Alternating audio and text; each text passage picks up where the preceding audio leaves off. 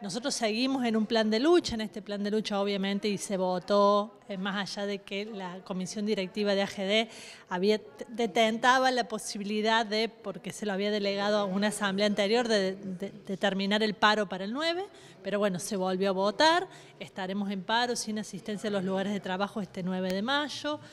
Eh, hoy tenemos reunión en la multisectorial y la idea es confluir con la multisectorial, es asistir al Consejo Deliberante, entregar un petitorio que entendemos los representantes de los distintos partidos políticos debiesen elevar a los y las senadoras con representación en el Congreso de la Nación.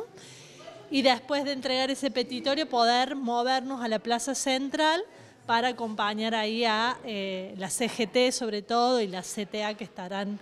convocándose seguramente la plaza. Así que bueno, más o menos esta es la idea. Entendemos que eh, tenemos desde el Frente de Asociaciones de Base, del que participamos, también esta iniciativa de hacer algo para el Pacto de Mayo, para el 25 de mayo, eh, en, en simultáneo con lo que vaya a hacer el presidente de la Nación, poder como como comunidad universitaria, con toda la sociedad argentina, poder expresarnos en defensa de la educación pública universitaria y pensando un modelo de universidad para, para nuestro futuro como país. Obviamente que somos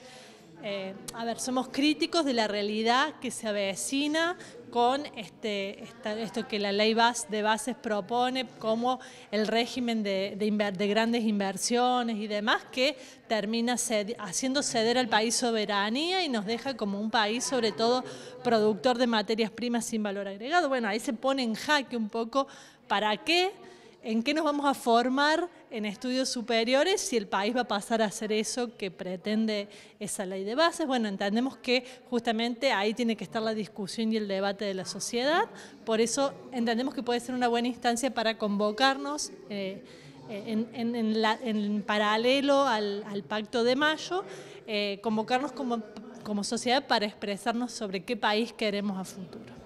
Profesora, además de todas estas situaciones que usted acaba de plantear, se han manifestado algunas posturas tendientes a algunas medidas alternativas, creativas, pero sin abandonar el plan de lucha contundente. La idea es poder ser creativo a la hora de eh, llenar ese plan de lucha de, de, acciones, de acciones que sean con la sociedad, seguir abonando a ese vínculo con toda la sociedad pero no, dejar de lado que estamos luchando por lo que entendemos debe ser, debe ser sostener los derechos de todas y todas para poder tener estudios universitarios de calidad y esto implica tener salarios de calidad en las universidades, tener dinero para gastos de funcionamiento, tener dinero para invertir en infraestructuras. Entonces no nos podemos desentender y entendemos que por eso sostenemos el plan de lucha y vamos a ser contundentes en ese sentido.